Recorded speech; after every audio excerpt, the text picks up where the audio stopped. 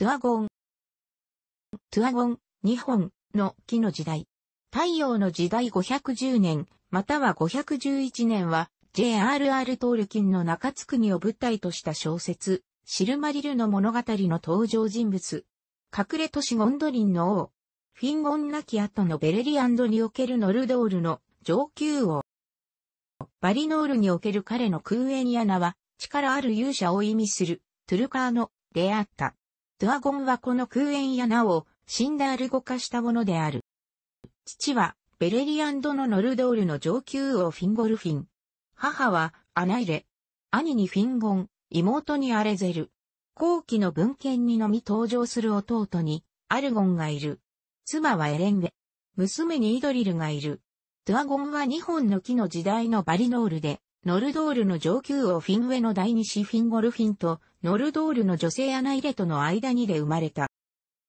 シルマディルがモルゴスによって盗まれ、伯父フェアノールがノルドールの上級王として中つ国への帰還を決めると、トゥアゴンはフィンゴルフィンと共に強く反対したが、結局、フィンゴルフィンはフェアノールに従ったため、トゥアゴンも中つ国への行軍に参加した。フィンゴルフィンは、フェアノールの強い言葉に心を動かされた多くのフィンゴルフィンの民を見捨てることができなかったからである。またトゥアゴンの2位、フィンゴンも中津国への帰還を望み、父にそうするように進めたからである。しかしノルドールの多くは、フェアノールよりもフィンゴルフィンに従っていたため、ノルドール最大の軍勢を率いたのはフィンゴルフィンであった。彼らはフェアノールの軍勢の後を進んでいった。ドゥアゴンの妻エレン・ウェイと娘イドリルも行動を共にした。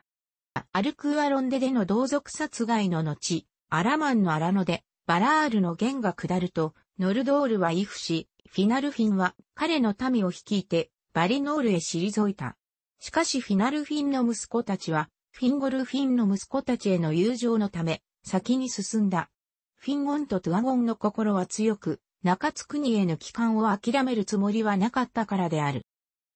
アラマンの果てで氷の海峡、ヘルカラクセを前にして寒さに苦しんだフィンゴルフィンの民は後悔し、フェアノールを非難した。フェアノールとその息子たちは、アルクーアロンデでオルエの民から奪った船を、自らのためにのみ用いて、フィンゴルフィンの民を置き去りにすることに決めた。フェアノールの一党は中津国にたどり着くと船を焼き払い、それを見たフィンゴルフィンは、フェアノールの裏切りを知った。しかしフィンゴルフィンの軍勢は、多くの犠牲を出しながらヘルカラクセ渡りきり、フェアノールの一党への愛情はなくなった。トゥアゴンの妻、エレンウェもまた亡くなり、このためトゥアゴンは、フェアノールとその息子たちへの敵意を持った。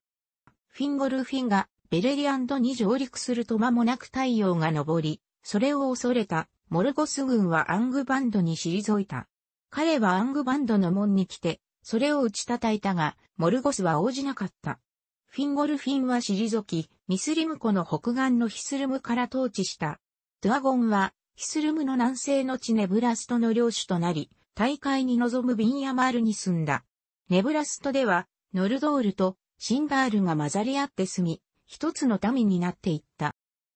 太陽の時代の50年に、ドゥアゴンは、フィンロドとシリオン川沿いを旅した。ウルモは眠っている二人に、警告の夢を見せて、モルゴスの勢力への不安を植え付けた。そのため二人はそれぞれにモルゴスの勢力から安全な隠れ場所を探し求めた。翌年ウルモはドゥアゴンの前に現れ、彼を環状山脈のトゥムラデンの谷へと導いた。ドゥアゴンはここにアマンの地のティリオンの塔を模した都市を築くことに決め、ダゴール・アグラレブの後、多くの技術者を秘密裏に送り込んだ。52年の時をかけて、隠れ都市は完成し、彼はネブラストを捨て、フィンゴルフィンの民の3分の1と多くのシンダールを連れて移り住んだ。ウルモの加護によって、ドゥアゴンの行軍は隠されたため、多くのノルドールが、ドゥアゴンの隠れ王国を探したが、真上のワシの他は、誰もゴンドリンの場所を知ることがなかった。